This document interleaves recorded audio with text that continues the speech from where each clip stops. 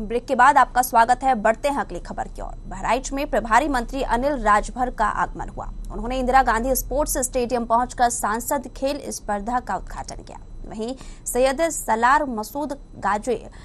रहमतुल्लाह को आक्रामक भी बताया उन्होंने कहा कि यह लोग देश का देश पर आक्रमण करने के लिए आए हैं वहीं उत्तर प्रदेश में बढ़ रही ताबड़तोड़ वारदातों को लेकर उन्होंने कहा कि चुनाव नजदीक है ऐसे में कुछ लोगों को झटपटाकहट हो सकती है सरकार को घेरने का काम भी हो सकता है